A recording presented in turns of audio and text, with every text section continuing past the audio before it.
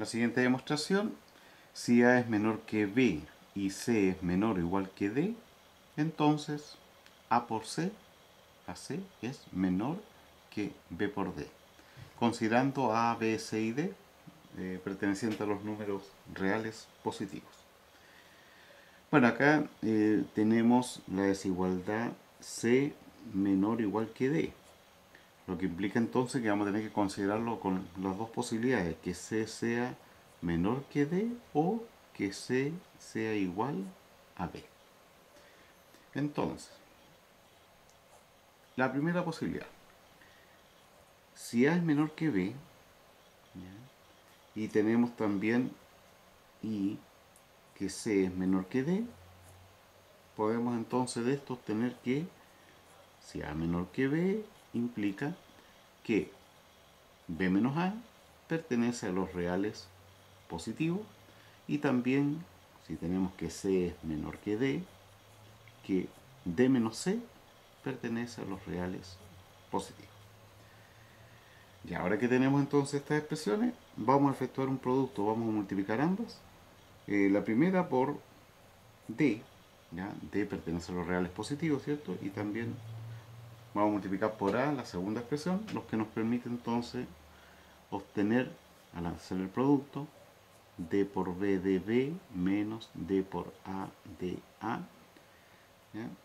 Y eso pertenece a los reales positivos.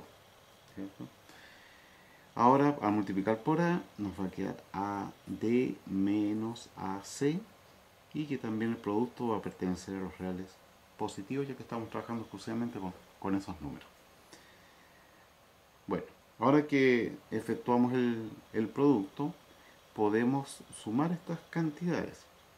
Al sumarlas nos va a quedar entonces DB menos DA más AD menos AC perteneciente a los reales positivos, donde vemos acá, ¿cierto?, que hay eh, expresiones que podemos simplificar, ya que AD y DA, ¿cierto?, es lo mismo, propiedad conmutativa de la multiplicación, eso da 0 y nos queda entonces DB menos AC perteneciente a los reales positivos.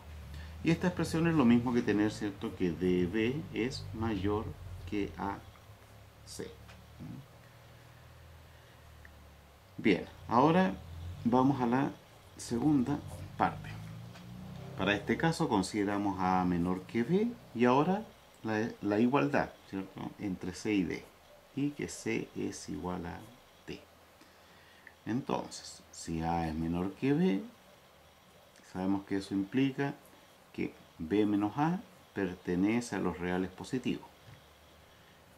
Y si C es igual a D, significa que la resta entre ellos, por ejemplo, D menos C, es igual a 0. Y ahora que lo tenemos así, efectuamos el producto de la primera expresión por D y la segunda por A, tal como hicimos en el caso anterior. Multiplicamos, yo aquí estoy haciendo el producto enseguida, así que pueden ir haciendo los pasos eh, no directamente, sino que primero colocar D, paréntesis por B menos A y después multiplicarlo. Ahí ya, cada uno vea cómo lo quiere realizar. Y D por menos A, menos DA, eso pertenece a los reales positivos. Por A, A por DAD menos A por CAC eh, es igual a 0. Es igual a 0. Entonces, si efectuamos la suma de estas dos expresiones, que es dB menos dA con AD menos AC, como estamos sumando un real positivo más 0, el resultado va a pertenecer a los reales positivos. Eh, aquí ocurre lo mismo que el caso anterior, podemos entonces simplificar. Nos queda por lo tanto dB menos AC perteneciente a los reales positivos. Y esto es lo mismo que tener que dB es mayor que AC. Por lo tanto, en, ambos hemos llegado a lo mismo, que ordenando los, los términos, los elementos, corresponde justamente a lo que queríamos demostrar.